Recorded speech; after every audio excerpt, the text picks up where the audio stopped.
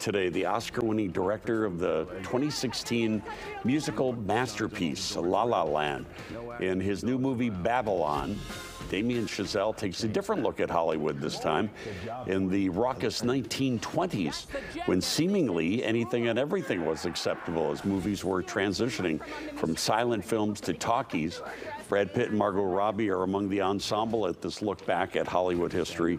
In a Zoom chat, Chazelle explained.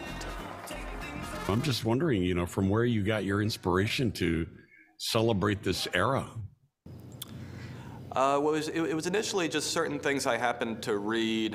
You know, I, I'm a big film history buff, and uh, uh, I think at some point I had a kind of what I now realize to be a misconception about this sort of early period in Hollywood history. Uh, you know, of it being somewhat quaint and somewhat, you know, they would call it the Roaring Twenties, but that the most people really did was sort of, you know, drink martinis and dance the Charleston.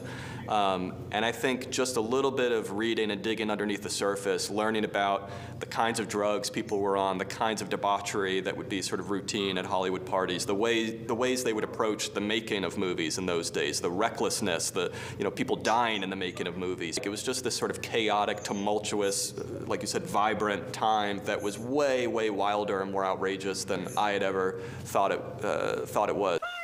Babylon will open in theaters tomorrow. I'll have my review of that and all of the holiday weekend movies for you then.